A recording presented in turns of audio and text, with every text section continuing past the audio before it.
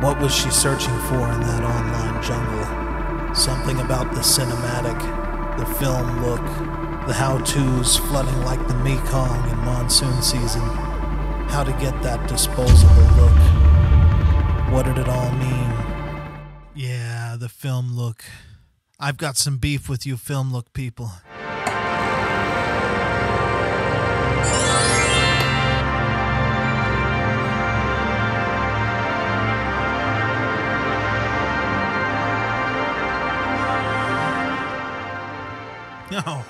Welcome to my home.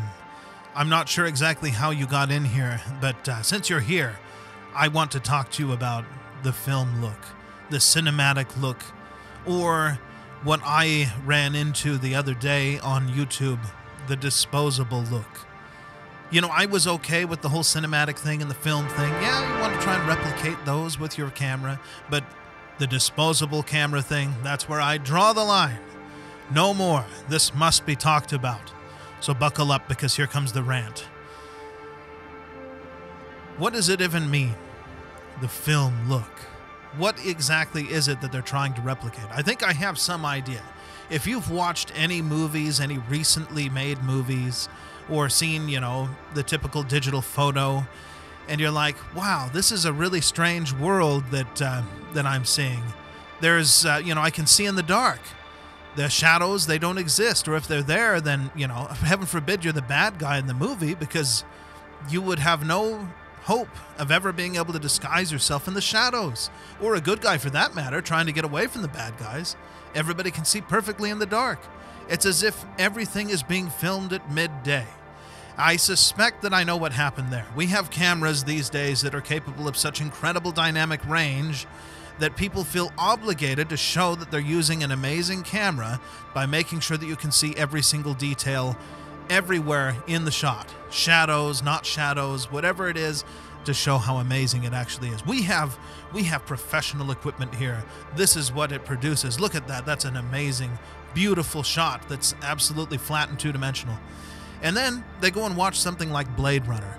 And they're like what is this that i'm seeing? This this uh, this look, this uh, there are shadows, there's dark places. It's it's dirty. People have grime on them. Things have grime on them. What what could have produced this result? I know. It must be because back in the 80s they only had film. This is because it was filmed on 35 millimeter film or whatever. That's got to be this. I don't actually know if it was 35 millimeter film. I suspect because it's you know cinema movie thing.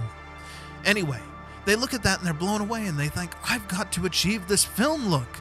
But how can I do it when I'm not using film? Now, the first thing that I would suggest if you want to achieve the film look is, you know, use film. If you're doing photography, it's much easier than the, the whole movie thing, much cheaper. They used to have these things called SLRs.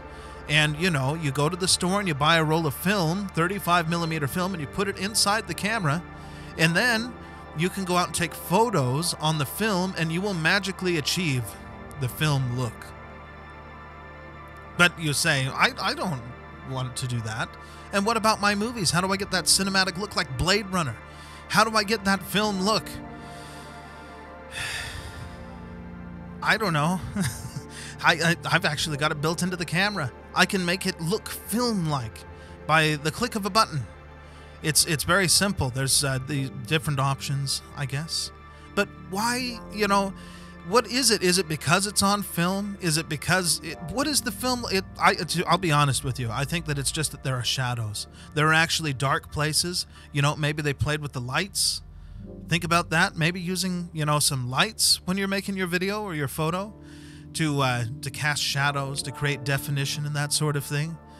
That might go a long way into uh, creating the film look better than some of the advice that I've seen online. You wouldn't believe what the people were saying about this disposable. What is the disposable? For those of you who don't know, there used to be these things called disposable cameras. I mentioned the SLRs. Well, let's say you didn't have one of those and you wanted to go on vacation, but you, maybe you didn't want to pack the camera, maybe you didn't, you know, you didn't want it to get stolen or something like that. You could buy these disposable cameras at Walmart and different places.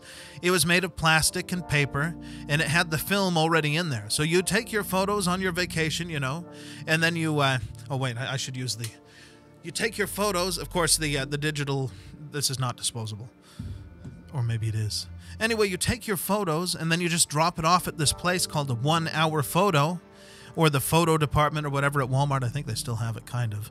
And an hour later, they have your photos your, from your disposable camera. But guess what?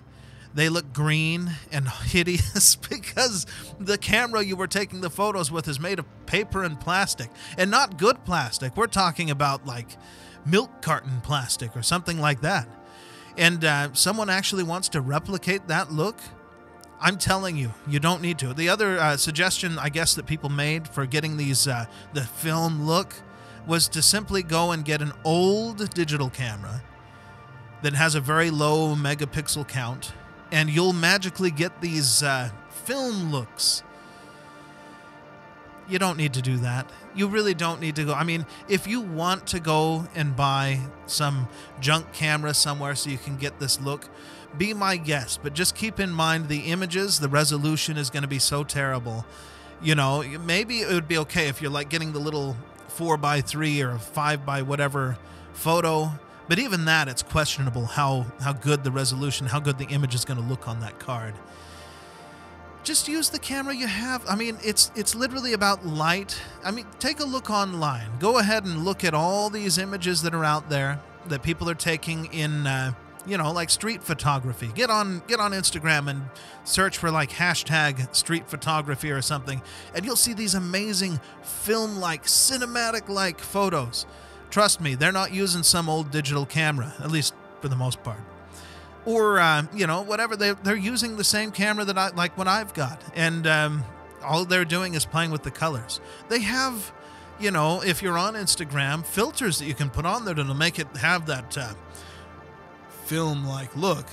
But if you really want to get it right out of the camera, you can do that. Just switch the the settings, you know, and you can have right out of the camera. Of course, you can't do RAW that way. You've got to have it switched to like JPEG. You can have JPEG and RAW, I suppose and then you can have one that's in the film look and one that's raw just in case you want to mess with it yourself. But it's not this magical thing. And if you're really obsessed like you just you've got to get the film look then just go get an SLR and start taking photos with real film and you will get the film look. Uh, you get the negatives. You invest in a little thing to kind of scan the negatives into a digital. I, I wonder if there's probably a service out there that'll do that for you. And wow you've got the film look I, I cannot begin to tell you how ridiculous it is seeing all these things on the internet talking about the film look. Ah, I just had to get that off my chest. If you really want the film look, go get a film camera. Now, yeah, or you know, maybe we can we can play with it. Let's see. How am I? I'm filmy now. I've got the film look. I'm cinematic. You see, kind of, maybe not. I'm not an expert at this stuff, but honestly, it's just lighting. It has nothing to do with you know the camera or the the, the well okay the lens can have an impact on your image if you want uh, really clear and nice looking images. They, they do add their character, but for heaven's sake, you don't have to get an old digital camera. Use, uh, well, I mean, if, if you want, you can, but wow, what is this stuff? I tell you, the film look. What is the obsession? I think it's that obsession that drove Hollywood into making these flat images. Somebody was telling them that the, the film, when they were doing film stuff, it had a flatter image or something like that. I don't know, not as crisp. So now they've been pushed into getting these incredible dynamic ranges to where it doesn't look real anymore. Like I said, those bad guys, you know, they're going to be out of the job in the movies because they can't hide in the shadows anymore. But yeah, you'll have to tell me what you think. Am I right? Is this whole hype about the film look thing just a bunch of ridiculousness? Especially since you can just use Instagram to put the filter on there if you really want. You know, take whatever photos and you can make it have the film look. just dirty it up. Add some uh, some noise here and there. I don't know, but uh, you can you can achieve that film look without going to ridiculous lengths. And uh, yeah, Def- don't don't go for the disposable look. Geez, those those cameras, they're so bad. My friend in school managed to take one of them and turn it into a taser. Yeah, the the flash thing. He like just peeled the paper off and exposed the thing, and he he didn't zap anybody else. He accidentally zapped himself. I guess that's how he discovered it. But you don't need to replicate that. Just take photos and put a filter on it or something. I don't know. Learn about lighting, that sort of thing. Don't take advice from me because I'm, you know, not an expert, but at least I know not to do the disposable look. Ah, eh, gee, anyway, I get, me, get out of my house. I'll, I'll see you later.